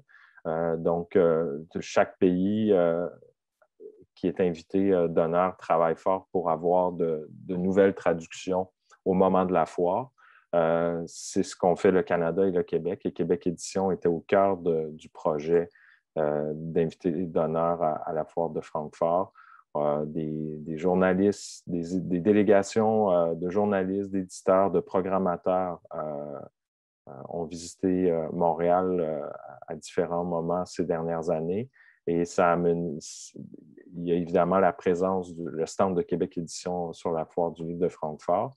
Et on, a encore des, activités qui vont venir ces prochains mois, l'intention des, libraires allemands. Et on prépare activement la foire d'octobre prochain, même si pour l'instant, vous vous en doutez, on, ne sait pas exactement à quoi va ressembler euh, cette foire. Euh, cela dit, le travail qui a été fait par Québec Édition consistait à accompagner les éditeurs, à leur permettre euh, d'obtenir des ventes de droits et d'avoir de nouvelles traductions pour la foire, d'avoir des auteurs qui, sont parmi les invités d'honneur euh, du Canada euh, pour la programmation littéraire qui, vous en doutez, a été euh, bouleversée. Il y a aussi, Dominique a parlé du programme de fellowship Rendez-vous destiné aux libraires. Le, programme de fellowship, il y a aussi un programme de fellowship destiné aux éditeurs qui consiste à accueillir des éditeurs d'un peu partout. qui... Et donc, les fellowships, il y en a plusieurs dans le monde avec les, les, salons et les foires. Il s'agit à chaque fois de présenter pour un éditeur ou une éditrice ou les vendeurs de droits des maisons d'édition, euh, ceux qui sont chargés spécifiquement de la vente de droits. Il s'agit de présenter leur candidature et d'espérer d'être retenu. Et, donc, c'est toujours ce rendez-vous a lieu pendant le Salon du Livre de Montréal. C'est l'occasion de, voir la, vitalité et la, et la, vitalité et aussi le, comment dire, la profondeur du marché du livre québécois, de visiter des éditeurs, euh, des librairies, de rencontrer des auteurs, euh, des libraires, euh, des journalistes et d'autres acteurs du, milieu du livre au Québec. Québec Édition organise des missions de vente à l'étranger en, en, présentiel avec des, comment dire, suite à des échanges avec le comité de Québec Édition, avec les éditeurs, avec les différentes euh, tendances dans le marché du livre, euh, les missions de vente sont, choisies. Il arrive que les éditeurs eux-mêmes, évidemment, peuvent faire des missions de vente en France ou ailleurs dans le monde pour, pour mousser la vente de leur type. Euh, et puis, plusieurs éditeurs québécois euh, et franco-canadiens travaillent avec des agences littéraires internationales basées en Europe ou aux États-Unis ou ailleurs. Euh, et donc, ils travaillent avec ces, ces agences littéraires, représentent plusieurs éditeurs. Et évidemment, elles, perçoivent un pourcentage sur les ventes, mais c'est une occasion pour les éditeurs québécois d'avoir accès à des contacts, à des réseaux. Alors, qu'en est-il de céder des droits en temps de pandémie? Alors, euh, évidemment, plusieurs euh, foires et salons du livre ont été annulés en, 2020 et euh, en 2021 en raison de, la pandémie. évidemment, les, contacts humains sont irremplaçables parce que dans une foire comme celle de Francfort, il y a évidemment les rendez-vous professionnels, les vendeurs de droits et les éditeurs ont des journées chargées avec des rendez-vous aux demi-heures, euh, soit dans leur emplacement à Québec Édition, soit à, l'emplacement des éditeurs étrangers. Mais en dehors de ces journées de travail très, euh, euh, chargées, il y a les repas, les cocktails, les échanges qui, favorisent le réseautage et qui, s'emmener à une vente directement cette année-là, vont, euh, vont, créer des contacts et vont créer des opportunités pour l'avenir. Euh, donc, il y a lieu de croire que c'est le discours que tiennent les foires et les salons, qu'il y a, on, sera dans un mode hybride euh, dans l'avenir et ce sera le cas, par exemple, c'est le projet de la Foire du livre de Francfort cette année d'avoir euh, des événements, des activités de réseautage en mode virtuel pour compléter le mode présentiel qui sera plus réduit. Bon, les foires ont, par exemple, élaboré des plateformes, des plateformes de rendez-vous de B2B pour, pour, les éditeurs. je dirais à, cet égard que c'est en développement et que rien ne remplace un bon réseau de contacts établi au fil du temps et que ces plateformes de rendez-vous ne, permettent pas toujours pour l'instant d'obtenir des rendez-vous avec, euh, avec euh, les éditeurs les plus, euh, les plus recherchés. Ceux qui comptent, c'est encore et toujours les contacts, le travail avec les agences qui, qui fait foi de tout. Mais c'est en développement, puis on ne sait pas à quoi ça ressemblera. évidemment, il y a eu un ralentissement dans la session de droit pour des raisons économiques, mais aussi parce que dans tous les pays, ou presque. Les calendriers éditoriaux ont été bouleversés par la pandémie. Euh, donc, à partir du moment où les, éditeurs euh, ont déplacé de 2020 à 2021, ensuite de 2021 à 2022 la sortie de certains livres, soit dans leur langue originale, euh, le français en France, l'allemand en Allemagne, ou encore en traduction, bien évidemment, ça ralentit un peu l'acquisition de droits, même si les éditeurs ont des catalogues à, construire, des saisons littéraires à, constituer pour l'avenir, il y a eu un, ralentissement. Euh, d'un autre côté, à Québec Édition, il a fallu s'adapter, comme le dit Dominique, pour euh, le travail en, Europe francophone. Et ce travail a, passé par des, euh, des, missions de vente et des fellowships virtuels. Donc, il y a eu une mission de vente avec l'Espagne en novembre dernier pour les éditeurs jeunesse. Une autre aura lieu avec des éditeurs espagnols en juin, euh, dans, quelques semaines. Il y en a eu une euh, avec, les, avec les Balkans en mars. Euh, ce qu'on constate avec le mode virtuel, c'est qu'évidemment, il, il, y a une flexibilité. les coûts sont moindres que se déplacer. les traducteurs et les traductrices, par exemple, sont des passeurs essentiels auprès des éditeurs étrangers. Mais le métier traducteur ne permet pas toujours de se déplacer dans les foires où c'est se déplacer à Londres ou à Francfort, c'est plutôt dispendieux. Donc, on, a constaté à travers le, fellowship virtuel avec les Balkans que plusieurs traducteurs et traductrices s'étaient plusieurs traducteurs et traductrices se sont inscrits et ça nous a permis d'établir de, nouveaux contacts. Et ça, c'est toujours un, investissement pour l'avenir dans la durée que de, connaître des traducteurs, que de partager des œuvres avec, eux.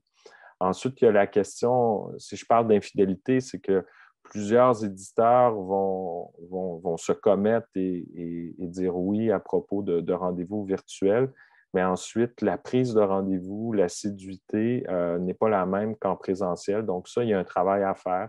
Cette assiduité dépend beaucoup des contacts qu'on établit puis de la solidité du réseau. Évidemment, il y a aussi des, nouveaux outils qu'on développe ou dont il faut accélérer le développement, des sites web, euh, des, pages de droit pour les éditeurs, d'avoir une section de leur site web euh, consacrée à la vente de droits, euh, de développer des, catalogues numériques qui sont attrayants, qui peut-être offrent un, plus-value par rapport au, catalogue traditionnel, les capsules vidéo. Et donc, à, Québec Édition, on réfléchit en vue de la, de du livre de Francfort et de d'autres de d'autres rendez-vous, on réfléchit sur les, nouveaux outils qu'il nous faudrait développer, étant donné que l'hybridité semble semble s'installer pour de bon. Alors, vous pouvez en savoir plus en visitant euh, la section Québec Édition du site euh, de l'ANEL. Alors, j'espère que euh, vous avoir transmis un, peu de ce qui est notre travail, de ce qui est le travail de session de droit des éditeurs québécois. Merci. Et merci d'avoir partagé toutes ces actions euh, de l'Association nationale des éditeurs de livres. Moi, j'avais une question à préciser au sujet de la représentation. Est-ce que vous représentez aussi les éditeurs euh, francophones euh, du Canada? Oui, oui. C'est-à-dire que sur le, stand de Québec Édition, que ce soit à la Foire du Livre de Francfort ou dans les salons francophones européens, parce que Québec Édition est présent à Livre Paris, à la Foire du Livre de Bruxelles, euh, au Salon du Livre de Genève. Euh, oui, les éditeurs franco-canadiens sont présents sur, sur le stand. Est-ce que vous représentez aussi les éditeurs anglophones du Québec? en fait, hein, c'est les éditeurs qui choisissent de participer à nos activités. Donc, euh, c'est arrivé des fois que des éditeurs anglophones choisissent de participer à une activité qu'on a lancée, c'est-à-dire un projet à l'international ou une rencontre d'échange qu'on organise. Euh, donc, souvent, la plupart de nos activités, surtout sur l'international, sont ouvertes à tous les éditeurs, qu'ils soient membres ou non de l'association, parce que c'est une offre de service qu'on lance euh, à l'ensemble des éditeurs. Donc, euh, oui, quiconque est intéressé à prendre part à nos activités de développement a la possibilité de le faire, mais c'est sûr qu'il y a des actions qui sont orientées particulièrement sur les marchés francophones, donc qui parlent davantage aux, aux éditeurs francophones, tandis que d'autres sont plus en langue étrangère. Donc, c'est une question aussi parce que je me la posais au sujet de la représentation au Salon de Francfort. Oui. Euh, donc, comment s'articule cette espèce de dualité? Là? Euh, on sait que, évidemment, le gouvernement conservateur avait refusé le soutien à la Foire du Livre, euh, avait décliné l'invitation de Francfort pour, soutenir, pour soutenir le milieu de l'édition canadienne. On les salue bien haut. C'était vraiment poche. Alors maintenant, c'était la petite minute politique. Mais sinon, euh, ben ça, c'est un, sujet évidemment qui concerne, euh, qui est un sujet, c'est un problème, ben, c'est une réalité canadienne, cet enjeu-là de la représentation, parce que les questions de marché ne sont, sont, jamais vraiment les mêmes. Euh, ça rejoint aussi un truc, les, les, statistiques par rapport à la diffusion du livre audio, qui est très, très, très anglophone évidemment, ça témoigne à quel point les plateformes anglophones dominent euh, le marché, donc elles dominent la distribution, elles dominent euh, la représentation des titres anglophones et c'est une réalité avec laquelle les éditeurs anglophones du Canada doivent compter. Euh, nous, on a notre spécificité francophone québécoise qui est quand même parfois souvent avantageuse euh, on a aussi, comme j'ai souligné aussi, comme le fait qu'on ait deux associations professionnelles aujourd'hui qui se rencontrent, qui se parlent. Euh, bon, vous n'êtes pas toujours d'accord sur tous les enjeux, mais ça, fait partie de la dynamique normale, mais au moins, on peut se parler. On ne parle pas de deux grandes institutions gigantesques avec des intérêts complètement divergents, qui sont noyautés par, par exemple, un gros, gros, gros, gros grossiste de distribution de livres. Mais, mais ça, c'est donc il y a cet, enjeu-là, donc de la, de, la, distribution. Je, voudrais comme juste, je vais, prendre trois petites minutes pour soulever quelques points. Celui-là, c'en est un, la question de la, langue, de la diversité, des, euh, comment vous jouez avec la réalité canadienne. Il y a aussi cette notion-là de l'accessibilité aussi des livres. Donc, de rendre les livres malléables, ça, c'est vraiment passionnant. C'est vraiment un enjeu à investir. C'est sûr que si on part de, si, on, si, on, pense à la, la création d'un roman à partir de, de, de réflexion personnelle, ou ben, c'est différent que si on, travaille, si on développe un roman policier, où on peut inclure des intrigues, euh, inclure des éléments d'intrigue, des compléments, euh, des visites de lieux. Euh, mais on peut le faire aussi dans un roman personnel, c'est pas, c'est pas comme se concentrer sur le délire de l'écriture, qui, qui, est en soi un, champ d'expertise. Mais c'est intéressant.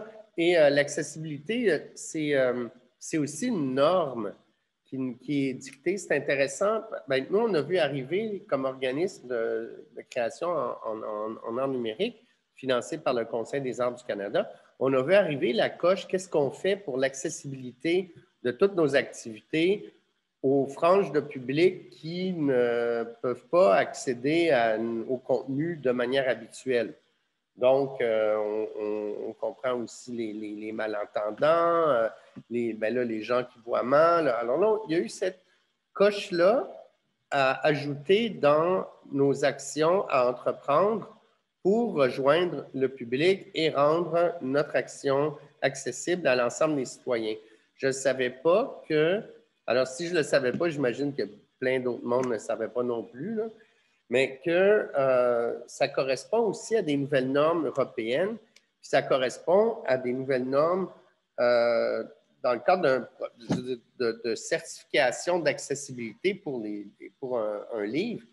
C'est quand même, euh, c'est pointu. Là, là c'est sûr que d'un point de vue de création, penser qu'on peut adapter la présentation d'un livre, puis changer, les, changer le fond, faire grossir le caractère, faire interagir du texte? C'est sûr que là, ça prend une pensée multimédiatiste, donc multimédia, pour, euh, chez les auteurs, pour euh, penser un livre multimédia. Euh, donc, c'est dans ce sens-là que on le comprend, que vous avez mis en place le projet de, le JAM 360 qui, a appuyé ben, plusieurs, des, plusieurs projets et, plusieurs personnes qui sont d'ailleurs invitées à ce séminaire, à ce forum mutation, et des gens qu'on, avec qu'on côtoie aussi, qu'on a invités aussi dans le cadre d'autres, euh, d'autres trucs. Mais c'est intéressant cette notion-là d'accessibilité euh, avec euh, une nouvelle certification. Là, on ne parle plus de, de, bouffe écolo certifié, mais vraiment de, de, publication qui rencontrent euh, des standards d'accessibilité différents. Euh, c'est vraiment très particulier. Là, évidemment, le numérique favorise beaucoup la diffusion et la, petite édition. Donc, la mention autour de la traduction, euh, l'importance des traducteurs est aussi vraiment quelque chose de vraiment intéressant. On comprend que tout le travail de démarche internationale est un peu ralenti, puis que ça entraîne des nouvelles façons de faire pour la promotion des, livres. Euh, c'est sûr qu'il y a un bouleversement, puis il y a des habitudes qui vont rester, euh, comme nous l'a bien euh, expliqué Sébastien Lefebvre. C'est sûr que le présentiel est important, mais il y, a des, habitudes qui vont demeurer et il y a aussi des habitudes qui vont demeurer dans la façon de produire. C'est un des sujets de l'heure, à la fois pour les les, producteurs en théâtre, les diffuseurs en théâtre, les, euh, euh, centres d'artistes comme nous, les, euh, les, salles de spectacle, les orchestres symphoniques, les opéras. il y a des choses qui vont vraiment changer il, y a, un autre sujet aussi, c'est dans la, question de, la distribution. ben, là, la question a été soulevée autour essentiellement des, livres audio. C'est la, question de la fixation des prix. Parce que tout le modèle économique est bousculé, parce que entre vendre un livre 25$ puis vendre un livre 3$, ben c'est pas le même euh, rapport économique qui s'établit, puis ça pose la question de, euh, la rétribution des, auteurs en arrière de ça, la question du nombre, euh, etc. Donc, cas, on, salue votre créativité aussi avec des initiatives comme le BookTube. c'est le fun, puis ça marche, puis ça montre à quel point on a le, milieu de l'éducation travaille fort, puis euh, je pense qu'il faut le reconnaître euh, et le reconnaître et le reconnaître. Euh, donc, moi, il y a la question des fellowships. C'était pas vraiment, je n'ai pas tout à fait compris comment s'articulent les fellowships. Et voilà, ensuite, je, je, laisse la parole, je me tais et je laisse la parole au public pour des questions.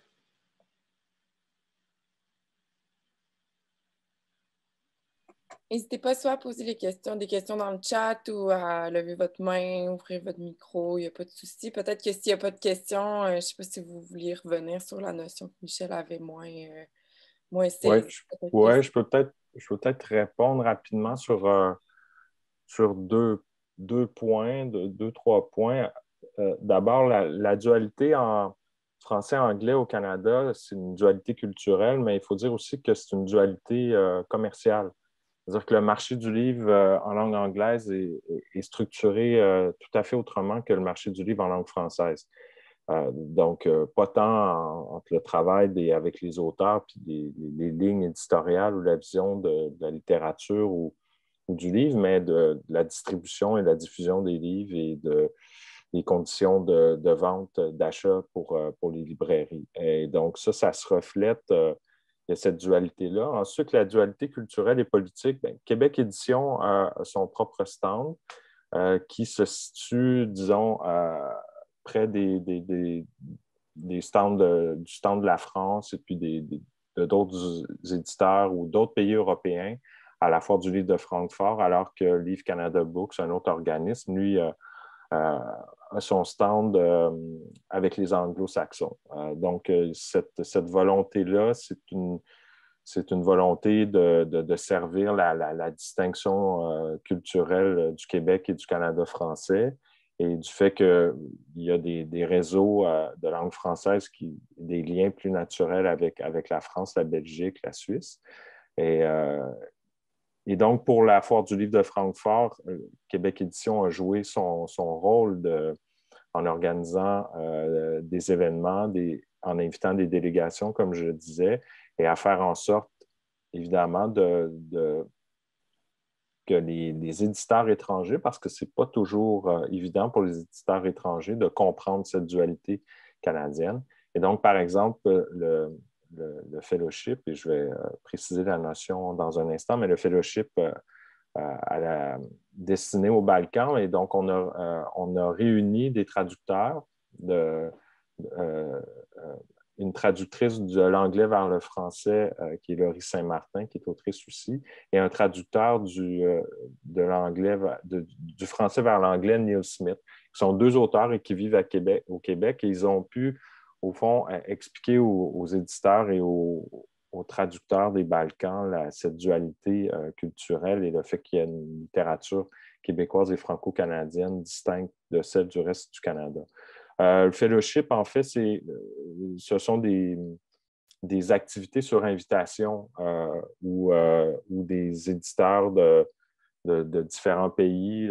lors du dernier fellowship de Québec Édition en 2019, il y avait des Espagnols, il y avait des, euh, des Polonais, il y avait des, gens de, plusieurs pays d'Europe. Euh, il y en avait des, en 2018, il y a eu euh, des, Américains qui sont venus. Il y avait, il y avait une délégation internationale en plus d'une délégation proprement allemande.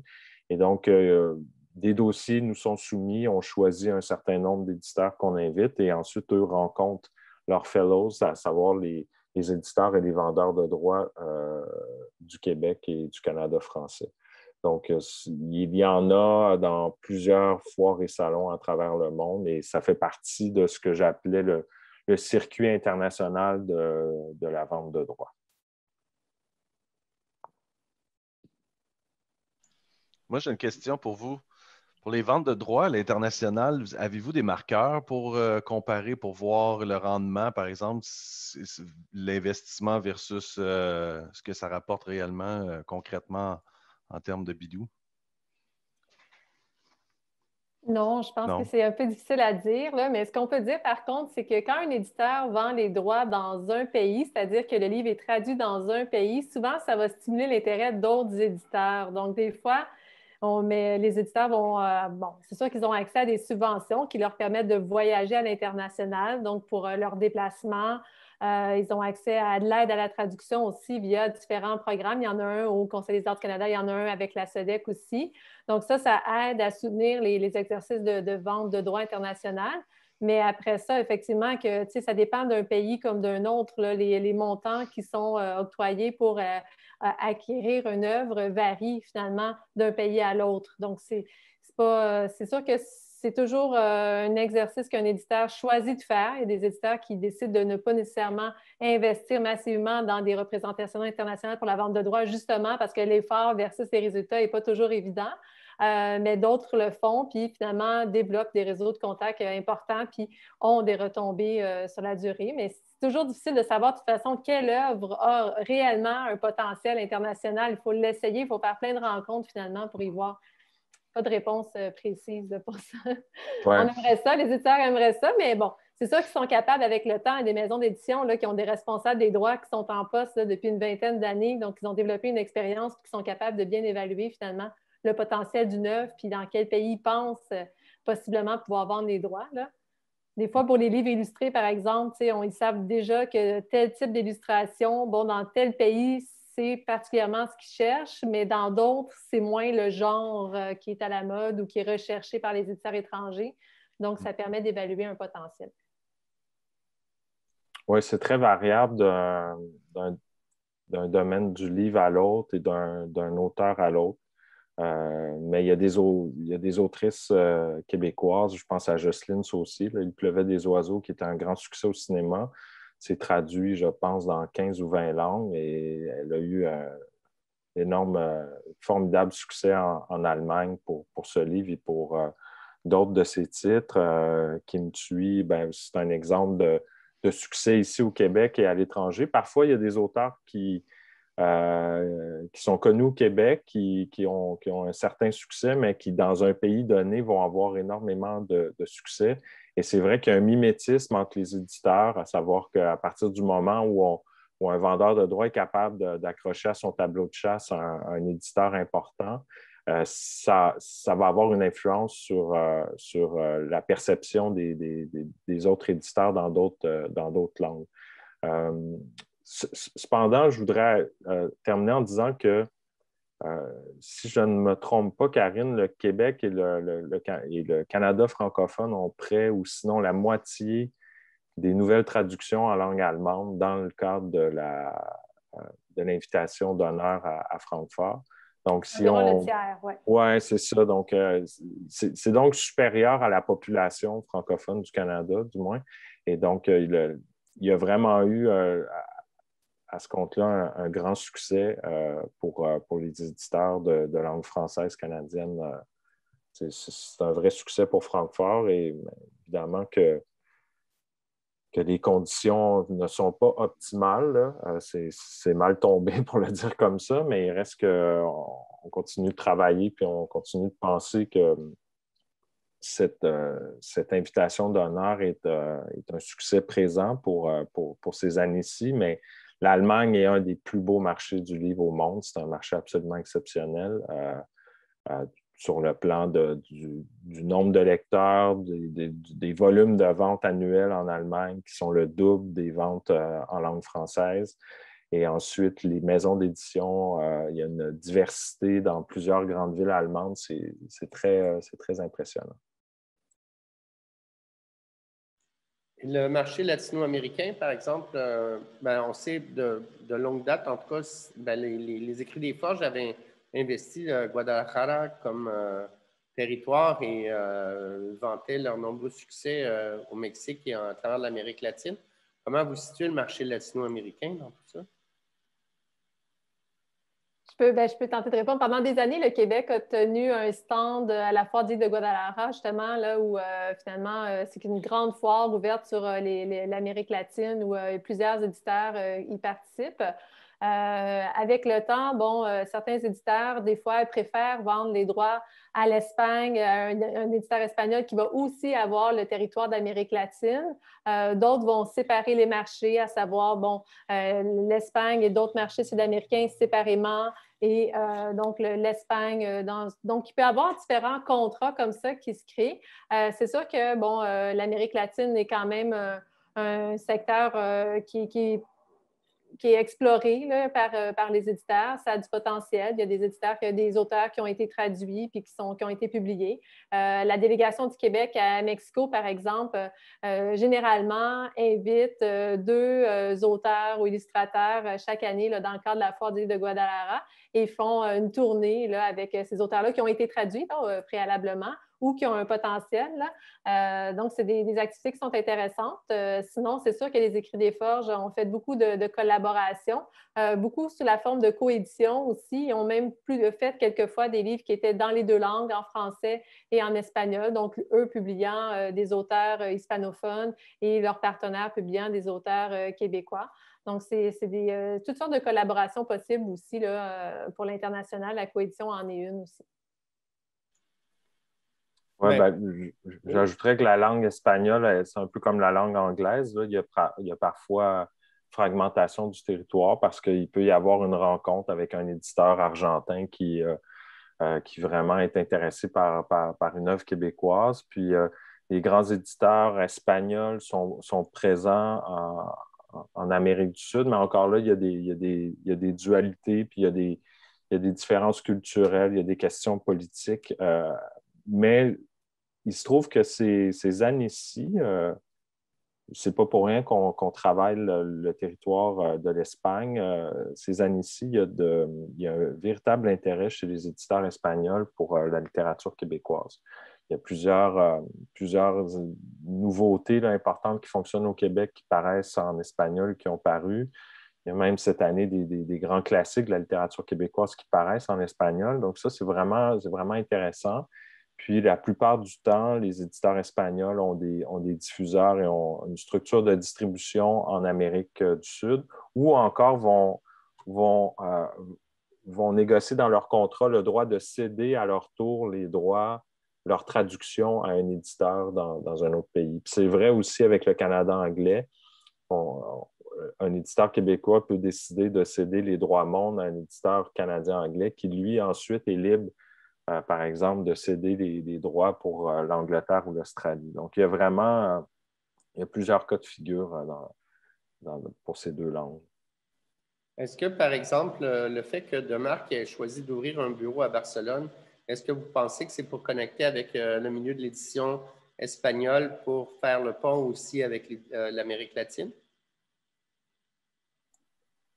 C'est une bonne question. Il faudrait euh, voir avec deux marques et comprendre euh, leur stratégie commerciale. mais c'est sûr que euh, du moment, nous, où on travaille le marché espagnol, généralement, c'est pour favoriser la traduction. Donc, c'est l'éditeur espagnol qui, après ça, est responsable de la commercialisation du titre. Donc, s'il souhaite le commercialiser en version numérique, ben, il va faire affaire avec bon, des partenaires de diffusion en, format numérique.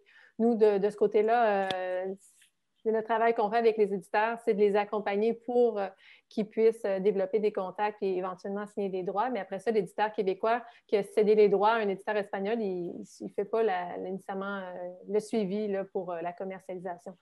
Donc, c'est peut-être plus la technologie que Demarque développe pour ces pays-là, plus que la stratégie d'exportation des titres. Enfin, on a dépassé un petit peu la durée du webinaire. Euh, je pense qu'il reste peut-être juste euh, quelques petites minutes pour discuter très brièvement qu'est-ce que vous pensez de la, refonte de la loi sur le droit d'auteur qui est à venir, promise, imminente, mhm. on ne sait pas quand, par rapport aux écrivains puis aux droits qui sont versés aux écrivains? Bien, l'ANEL a participé à toutes les consultations entourant euh, la révision euh, euh, de la loi sur le droit d'auteur qui a été changée, on se souvient, en 2012, puis qui inclut maintenant différentes exceptions, dont les exceptions pédagogiques qui font en sorte que des fois, bon, les droits ne sont pas respectés selon les créateurs et selon les éditeurs. Donc, on a une belle collaboration pan-canadienne avec les associations d'éditeurs, les associations d'auteurs euh, avec les sociétés de gestion aussi pour, euh, pour, demander au gouvernement à ce que la loi euh, sur le droit d'auteur soit modifiée pour respecter davantage des créateurs et les ayants droit. donc, en ce moment, il y a une consultation justement par rapport aux revendeurs numériques et on travaille en consultation à échanger avec la Coalition sur la diversité culturelle aussi, qui est un joueur important avec laquelle on échange nos réflexions. Donc, euh, je ne pourrais pas vous dire qu'est-ce qu'on va écrire dans le mémoire qu'on va déposer d'ici la fin du mois. Là, euh, on a eu beaucoup de consultations. On se souvient que le mois dernier, la consultation, c'était sur l'allongement du droit d'auteur suivant le nouvel ALENA. Donc, c'est vraiment des réflexions qui sont, importantes. Euh, on se réfère aussi avec des avocats qui sont spécialistes de ces questions-là.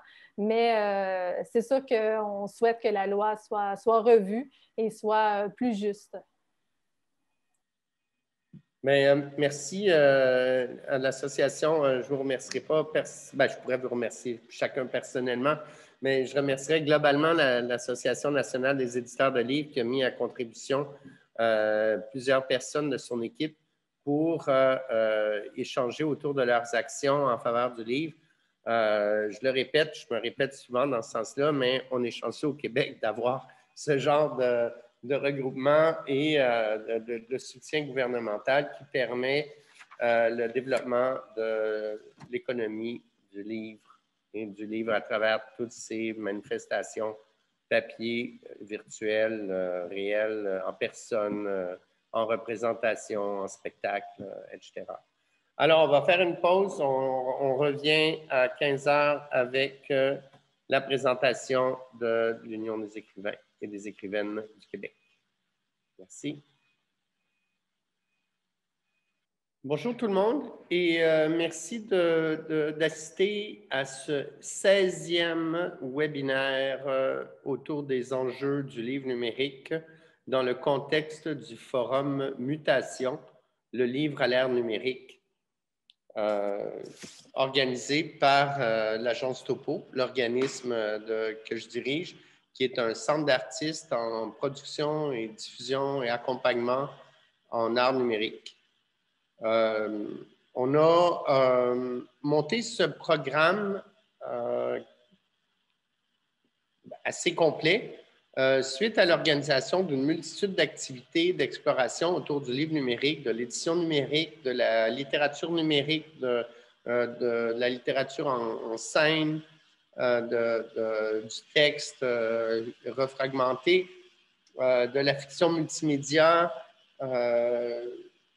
on a exploré différentes avenues et on a souhaité mettre en place un programme qui couvrait l'ensemble, en tout cas, on le souhaite, en le plus grand ensemble possible d'enjeux autour de l'édition numérique telle qu'on la vit aujourd'hui dans cette époque pandémique nouvelle de 2021. On a, euh, on a le soutien du Conseil des arts du Canada par le Fonds stratégie numérique pour organiser ce programme de 22 webinaires qui sera aussi suivi d'une période de prototypage avec des projets euh, durant l'été et un salon de l'édition numérique euh, en septembre ou octobre. Évidemment, on le souhaite en présentiel. Alors, euh, on a rencontré plus tôt cet après-midi euh, le personnel de l'Association nationale des éditeurs de livres pour parler de leurs initiatives autour du livre numérique. Et c'est maintenant au tour de l'Union des écrivaines et des écrivains du Québec de nous faire part de leurs préoccupations par rapport à l'édition numérique. Alors, euh, ben voilà, merci de votre présence et on se rejoint plus tard pour poursuivre la discussion.